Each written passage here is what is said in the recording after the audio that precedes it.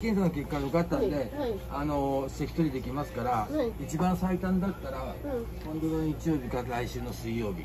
ああじゃあ日曜日に日曜日にしましょうか。ははいい、なんとか抜抜かなきゃいけないんだった朝。そう。日曜日に朝来てもらえるんだったら、そう朝ごはんを抜いてほしい、だから前の日の夜10時ぐらいまで食べといてもらって、お水は飲んでください、はいはい。それでじゃあ、えー、と日曜日の10時から11時。はいに来てください。はい。えっ、と日曜日だから7月の1日2日になりま2日すよね2日ですね。ごめんなさい。2日ですね。2日のじゃあ10時11時の間に入ってもらう。はい。で帰ってくるのはつその次の日、はい。まあそれは午前でも夕方でも、はい。まあ、夕方にしといてもらいましょうかね、はい。でまあまだあの子はやってないですね何もうん。だから、うんうんそう。あの舐めるところがねまだそうこす歯石取りした後もまだブラッシングしの方がいいから1週間ぐらいは、ただ薬はちょっと飲んでもらった方がいいかもしれません。でそう。やれたら舐めるとこだけ。うん。うんあんまり嫌がったら無理はしんでるんですけど、ね。はいはいそれだけちょっと鳴らしていただけると。はい。要はねこれで綺麗にして、うん。歯周病の治療もして、うんちょっと歯周病ね、うん。ちょっと抑える薬飲んでもらってお口多分匂いなくなりますんでね。うん。それをまああと一生うんうん。維持したいなというのんうん理想なんですけどね、はい。ありがとうございます。まあでもこれ、まあ、あそうそれと腎臓病の話を。はいはい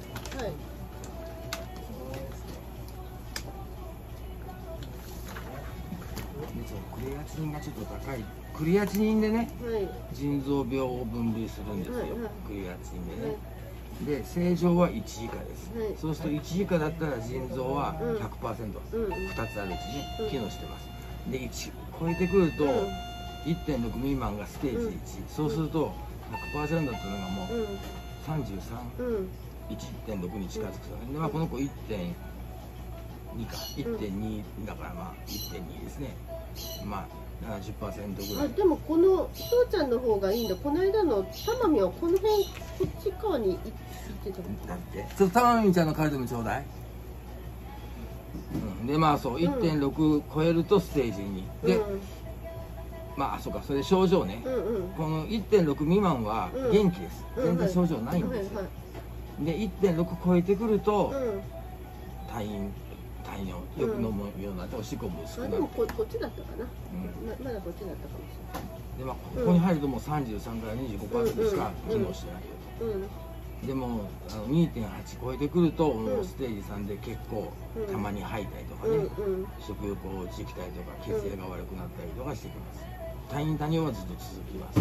で5を超えてくるとクレアチニンがうんうん。もうラストですね腎臓は10%から5%ぐらいしか働いてなくてうんうん退院多尿はあるんだけど貧血してくる。うんうん腎臓ってそのおしっこ作るのも一番大事な働きだけど、あの腎臓からホルモンがね出うん。てて、リスロポエチン骨髄を刺激して赤血球を作るんですけどね、うんうんそれが出が悪くなるから貧血してくると、でも元気なくなってフラフラになってきそうでもまあおしお水飲んでおしっこ出れる間はいいんだけど最後はもうこれゼロになっちゃうから、うん。そうするとおしっこ作れなくなると、うん。うん尿毒症を起こして、うん。吐いたり下痢したり痙攣起きたりうん。でこっちに行くペースをなるべく遅くした方がいい、うん。でまあこの数字が1.6うん。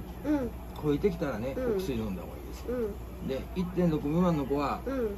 早期の腎臓病のご飯のうんサンプルを出しますね。それはちょっと試してみてください。永田さん KD 早期であとたたまみんのちょっと見せて一回。あれ前またカルテが欲しい。頼んでてまず出ない。出ない。の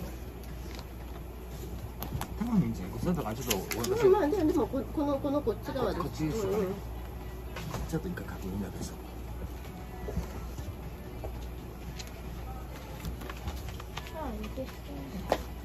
で KD 早期ねでたまみんはもう結果話してるよ。だから。はい形式をしてううん、1.45だからたまみんちゃんのが若干高い。ちょっとちょっとこの辺に来てるんだよね。そういうだから2人ともさその腎臓病の早期のご飯食べても悪くないんだよね。かな。あそうなんですね。形式をし。これこれはたまみちゃんの正式はいやはい。たまみちゃんも大体これ血小板が少ないってやつ何この子も血小板が好き。二人とも一緒だね。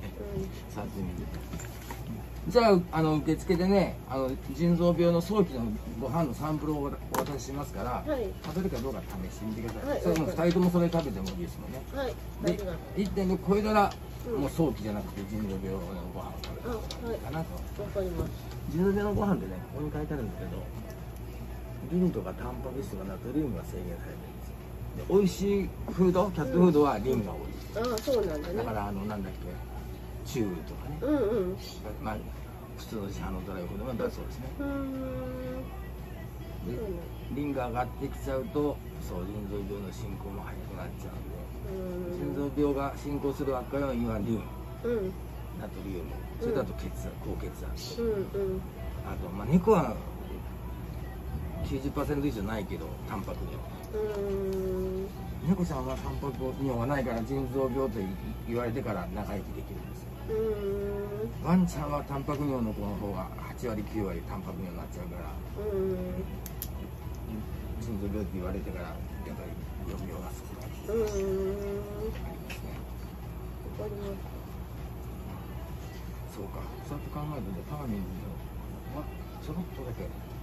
腎臓病の初期だけど、まあ2人とも初期ですよ、うん。ステージ1ですよ。はい。で元気ですもんね。ステージ1だから特別、はい。はい。だからまあお水は飲めるだけ飲ませてもらえた方がいいかなとはい。思いますねはい、すいません。じゃあ